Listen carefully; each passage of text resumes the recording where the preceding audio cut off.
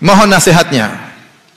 Apa yang harus kita lakukan saat kita futur atau tidak bisa fokus menghafal Al-Quran? Syukran.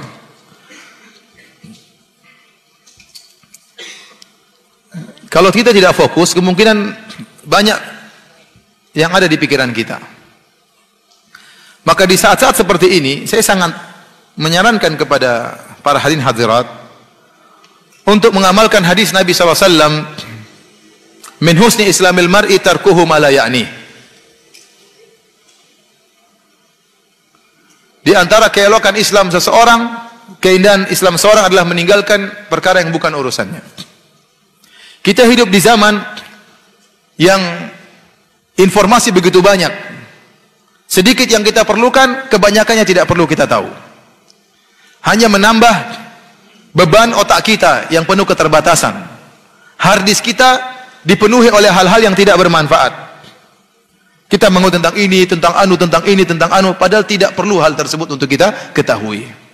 Tidak berkaitan dengan kemaslahatan kita secara dunia, terlebih lagi kemaslahatan kita di akhirat. Oleh karena seorang berusaha mengamalkan hadis ini. Meninggalkan yang bukan urusannya. Karena barang siapa yang meninggalkan perkara yang bukan urusannya, dia akan diberi taufik oleh Allah menuju perkara yang bermanfaat baginya. Nah kita sekarang waktu kita habis untuk hal yang tidak bermanfaat. Bagaimana waktu tidak habis seorang punya akun di Facebook, punya akun di Instagram, punya akun di Twitter. Dia harus meroja akun-akun tersebut. Iya tidak? Di murojaah baca lagi. Belum dia mengecek akun-akun yang lain. Ngecek temannya, apa saja foto-foto teman yang dia simpan. Belum lagi kalau akunnya cewek, oh ini janda atau bukan. Banyak yang dia cek di situ, habis waktu. Nah, informasi semua itu tatkala masuk di benak kita, itu mengganggu otak kita. Ini benar ini. Hati ini kata para ulama adalah wi'a seperti bejana. Tergantung apa yang masuk dalam hati kita ini dan corongnya adalah pandangan, penglihatan dan pembicaraan. Apa yang Anda lihat akan terekspresikan dalam hati Anda. Apa yang Anda dengar akan terbiaskan dalam hati Anda. Apa yang Anda ucapkan terus akan terbiaskan dalam hati Anda. Itulah yang akan menjadi pemikiran Anda sehari-hari. Nah, kalau orang memfilter apa yang dia lihat, memfilter apa yang dia dengar, memfilter apa yang dia bicarakan, dia akan bisa menjaga hatinya sehingga hatinya bisa dimasuki dengan Al-Qur'an. Saya sampaikan hal ini karena ada kebahagiaan yang saya rasakan. Setelah saya tidak lagi beraktivitas dengan Twitter. Saya kasih admin saya, biar admin saya yang pusing, saya nggak usah. saya kasih Instagram sudah saya nggak pernah urus lagi. Facebook, ya Facebook saya dihack. Sehingga saya tidak punya teman. Ya. Saya hanya bisa men-share apa yang saya share. Adapun pertemanan, chatting-chattingan nggak ada. Saya merasakan ada kebahagiaan bagi saya. Ada waktu untuk anak, untuk istri, untuk anak-anak dan istri ya. Dan juga buat dakwah, untuk baca Quran juga ada. Tapi dulu waktu kurang. Makanya kalau seorang gagal fokus untuk hafal Quran, coba cek apakah harddisk dia sudah penuh dengan hal yang macam-macam. Kalau ada maka hendaknya dia delete, bersihkan. Supaya dia bisa fokus baca Al-Quran. Setelah kalau dia sudah bersih hatinya, menjauhkan dari hal tidak bermanfaat, maka dia akan punya waktu banyak untuk baca Al-Quran. Ya.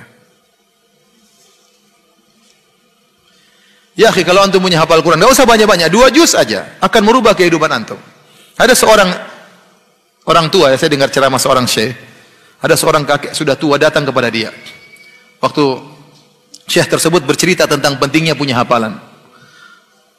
Kemudian setelah berapa tahun, entah dua tahun, orang tua ini datang lagi kepada dia. Kemudian dia bilang, Jazakallah khair, terima kasih wahai Syekh.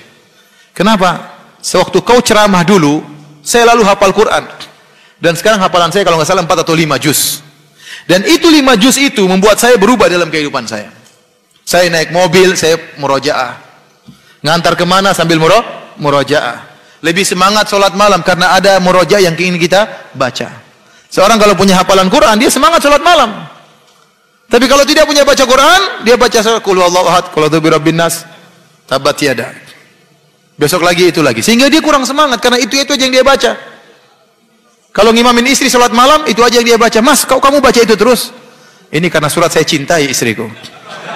padahal hafalan tidak ada. nah ini akan pengaruhi kehidupan anda, benar. Saya nggak bilang lima juz, saya bilang dua juz aja. Anda hafal juz amma dengan juz 29, itu akan pengaruhi kehidupan anda. Apalagi anda dalami, anda baca terjemahannya, apalagi anda baca tafsiran singkat, itu yang pengaruhi kehidupan kehidupan anda. Maka seorang berusaha untuk ya punya hafalan. Ustadz nggak bisa, kita sudah tua, bisa. Panggil guru, kita setoran seminggu sekali. Meskipun seminggu sekali. Yang penting setoran hafal, setoran jalan. Satu minggu meskipun satu ayat. Berarti satu derajat di surga naik. Ya tidak? Minggu depan ayat yang lain. Bidadari naik lagi. Minggu depan satu ayat lagi. Alhamdulillah. Waktu berjalan.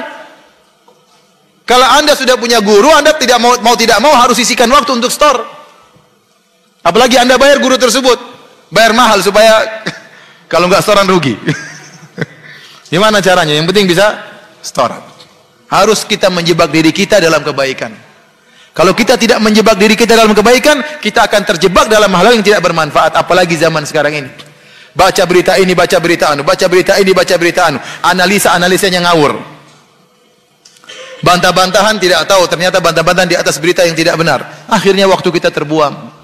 Seorang saja membaca berita setiap hari satu jam dia baca. Coba bayangkan kalau tujuh hari dikumpulkan sudah tujuh jam. Seandainya satu jam tersebut untuk baca Al-Quran sudah berapa juz dia baca?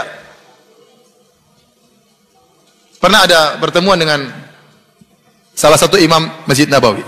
Waktu kita lagi id, ada istilah kita halal bihalal, tapi di Arab tidak dinamakan halal bihalal. Hari ketiga kalau tidak salah kita kumpul makan-makan rame.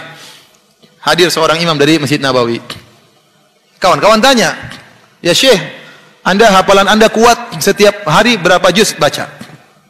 Dia bilang ya saya harus baca tujuh juz setiap hari. Untuk bisa menjaga apa? Hafalan. Bayangkan orang diberi anugerah oleh Allah sehingga hari-harinya dia baca, ada waktu baca Quran. Ya.